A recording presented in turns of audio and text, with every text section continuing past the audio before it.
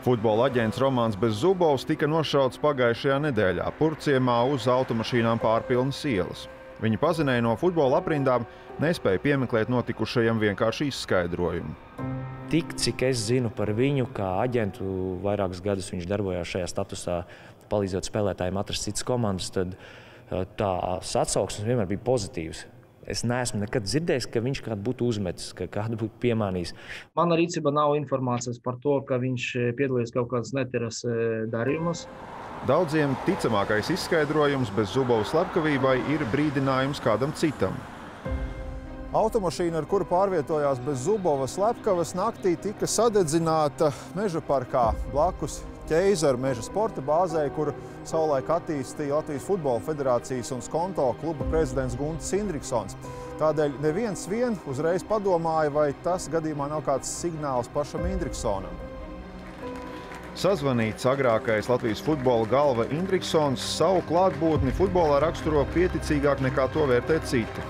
Apgalvo, ka viņam nekāda kontakta ikdienā ar nošauto bez zubo nav bijis. Varbūt reizi divas gadā saticis kādā futbola mačā es tādā priekšā, kāpēc man arī pat vēstījums, ja, kamēr es biju futbolā, ja, tur man bija pāris reizes gadā pārstādīsim, pārvietosim jūs, jūsu rokas, kur jūs kājas, atrodas kājas, kur rokas ir, bet es nestādos priekšā, kāpēc varbūt kaut kāds vēstījums man.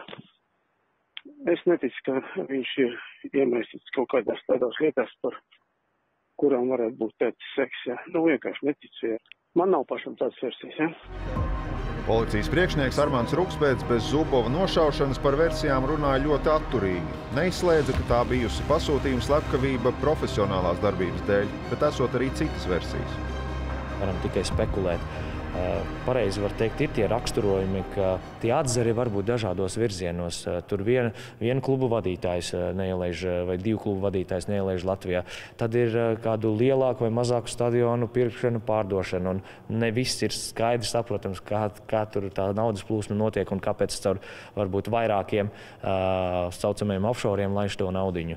Tad arī spēlētāji pārējais, kas bieži vien ir nu, tāda. Uh, līdz galam neatklāta bilde. Bez Zubova tuvākais sabiedrotais bija Vladimirs Koļesņičenko, kurš sāka futbolista gaitas pie Indriksonas konto klubā un noslēdza karjeru kļūstot par kluba prezidentu. Bez Zubova uzņēmuma BR Sporta aģencija līdzīpašniece ir Koļesņičenko civilsieva, de facto apstiprināja vairāki avoti. Raidījumos jau esam stāstījuši, ka Koļesņičenko bija starpnieks saudabīgajās konto stadiona pārdošanā par 35 miljoniem eiro investoram no Krievijas, kurš tagad sevi uzskata par apkrāptu. Futbolistu tirgu Latvijā, kurā darbojās Koļesņičenko un bez Zubovs, pēdējos gados nav pieredzētas skandalozas vai ļoti dārgas spēlētāju pārējas. Viens strīds, kas izlauzās uz āru, pērn izcēlās Valmieras klubā.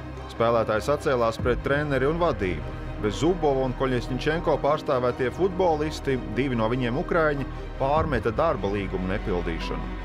Valmieras e, scenārijā, e, jā, Romans e, varbūt bija iesaistīts kā agents ar tiem spēlētājiem, bet Futbola federācijas komitejas tas spēlētājs vienmēr pārstāv Vladimirs Koļesņičenko, nevis Romans. Tāpēc šeit es teikšu, tāpēc tam arī e, gribu pateikt paldies Valmieras klubam par to, ka viņi ir izpildījuši e, viss, ka bija, kas bija ieprasīts e, no, no, no federācijas puses. Pēc federācijas iejaukšanās klubs bija spiests samaksāt bez Zubo un Koļesņičenko spēlētājiem vairākus simtus tūkstošus eiro. Man ir ļoti žēl, ka šo notikumu citu starpā saista arī ar Valmieras futbola kluba vārdu. Starp Romānu Bezzubovu, kā vairāku mūsu bijušo futbolistu pārstāvju un mani kā kluba prezidentu, nekad nav bijis nekādu konfliktu situāciju.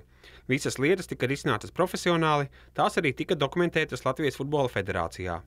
Rezultātā mēs atzinām savas kļūdas, tās izlabojām un lieta tika izbeigta.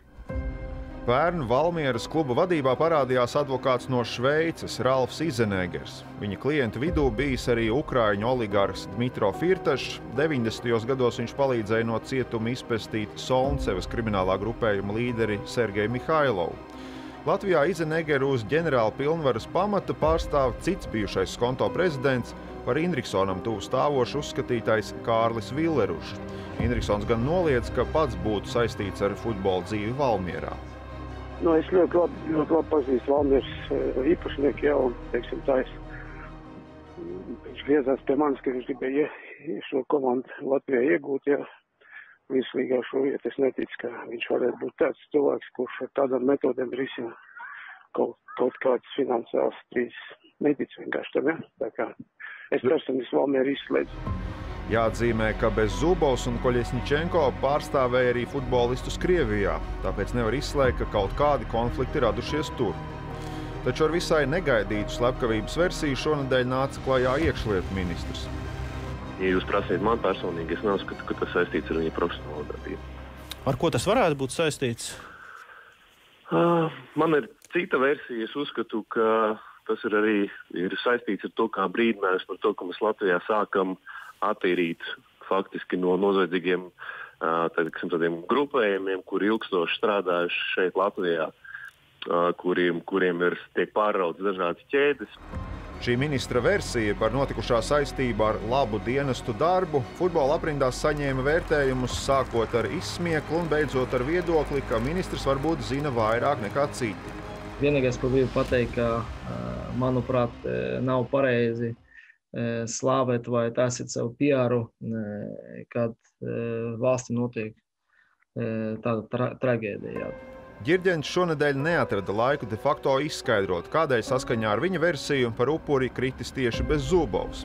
Jāpiemina, ka Girģents pats pērn kandidēja uz Futbola federācijas priekšsēža amatu. Viņu atbalsta Indriksons un Koļesničenko, kuru viņš labi pazīst, jo abu bērni kopā trenējušies futbolā.